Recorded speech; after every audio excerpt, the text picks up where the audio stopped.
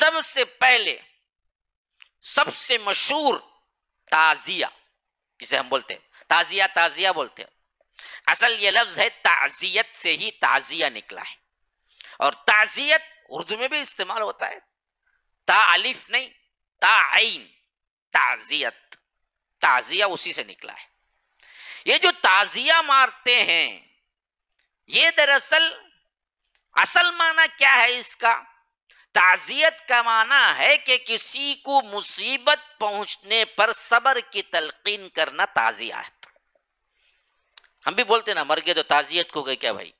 اردو میں بھی استعمال ہوتا۔ اب تعزیت کو گئے کیا؟ یا نہیں تو بندہ بولتا، میں تعزیت کو جا کو آیا بھائی۔ کہا، کیا مطلب؟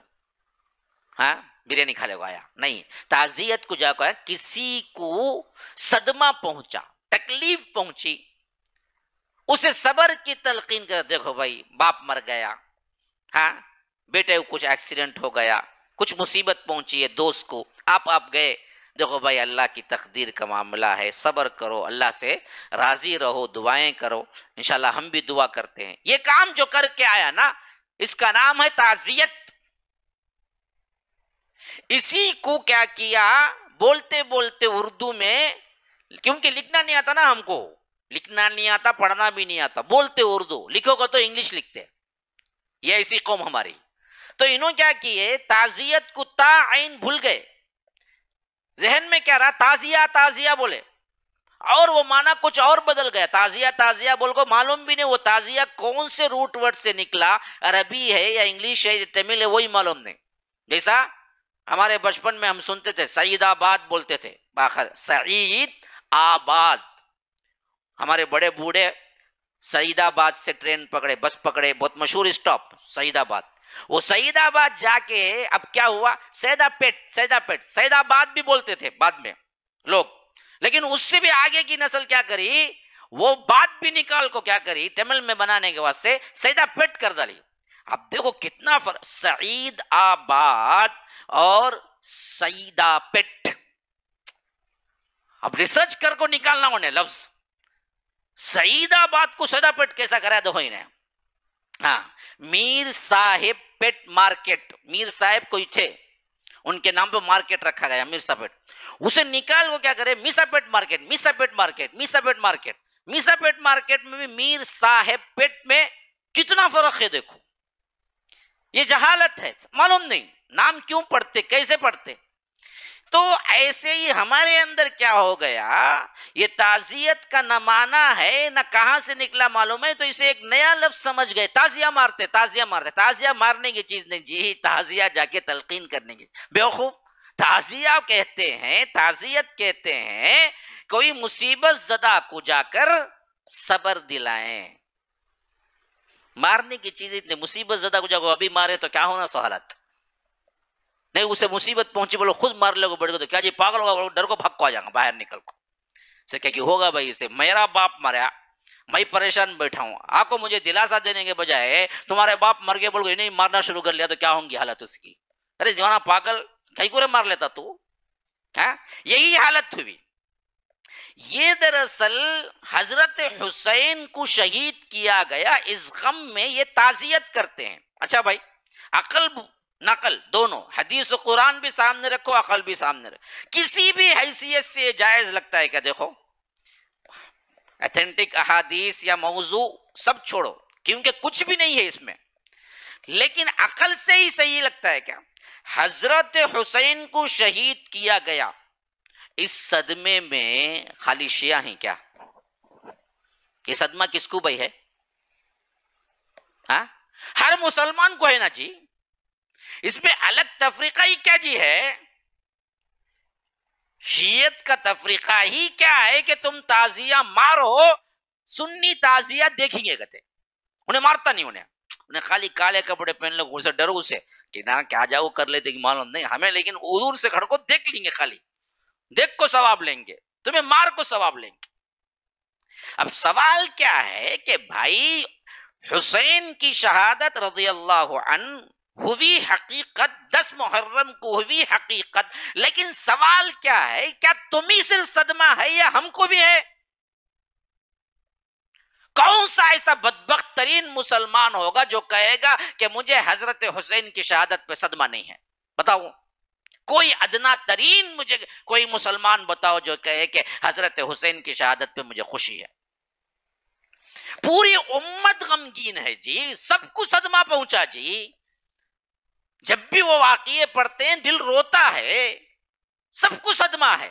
لیکن صدمے کو ٹیکل کرنے کا کیا یہی شرعی طریقہ ہے کہ اسے آپ اپنے آپ کو نقصان پہنچائیں، تازیہ مار کے یا چاقوں سے کاٹ کے یا گریبان چاک کر کے، یا خون نکال کے، یا سر پہ مار کے، یا سر کی رکھ کاٹ کے، یہ جتنے کچھ بھی ہیں میں پوچھتا ہوں، اسلام ایک مکمل مذہب ہونے کی حیثیت سے غم منانا، خوشی منانا طریقہ بتایا ہوگا، نہیں ہوگا؟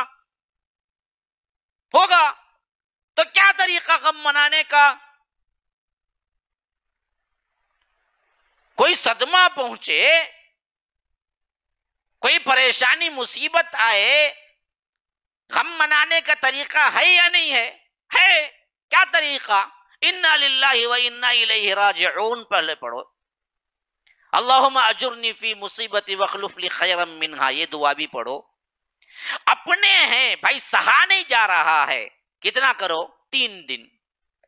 اللہ کے رسول صلی اللہ علیہ وسلم نے فرمایا، تین دن سے زیادہ کسی کے لیے غم منانا جائز نہیں ہے، سوائے بیوی کو، کہ اس کا شوہر مر جائے تو چار مہینے، دس دن غم منانا ہے۔ اسی عدت بولتے ہیں ہاں۔ اسے عدت بولتے وہ غم ہی کی ایک اسی واسطے اس میں زیب و زینت نہیں کرنا ہے۔ شوہر کا مکان چھوڑ کے نہیں جانا ہے۔ وہ غم کی کیفیت میں رہو۔ اس کے علاوہ کسی کے لیے جائز نہیں سوائے تین دن کے۔ اگر منانا ہی مطلب منانا کا مطلب کیا ہے؟ غم ہے، اچھے کپڑے پہننے کو دل نہیں چاہتا ہے، تو ایسا تین دن کر سکتے ہیں۔ اسی واسطے ام حبیبہ کے بارے میں آتا ہے، صحابیات روایت کرتی ہیں کہ جیسے ہی حضرت ابو سفیان کی وفات کا تین دن ہوا، اس کے بعد خود انہوں نے کہا کہ اپنی لونڈی کو بلایا، کہا کہ مجھے خوشبو لے آؤ۔ اور تھوڑی سی خوشبو، وہ زمانے میں خوشبو ایسی نہیں ہوتی تھی جیسے ہم کیا ہیں لکوڈ وہ زمانے میں سالڈ بھی ہوتی تھی۔ تو اس کو کیا ہے، ادھر ادھر لگایا، جیسا پاؤڈر ہوتا ہے ویسا۔ پھر اس کے بعد کہا کہ اللہ کی قسم، مجھے خوشبو لگانے میں کچھ بھی انٹرسٹ نہیں ہے۔ اللہ کے رسول کی وفات کے بعد میں کیوں خوشبو لگاؤں؟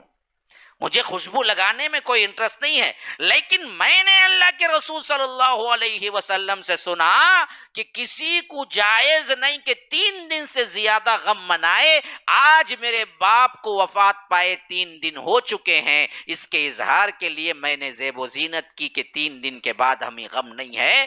بطور غم کے منانا بھی ہے تو وہ تین دن اور اکسٹھ ہجری دس محرم میں حضرت حسین کی شہادت ہو گئی تو تین دن کب ہوئے؟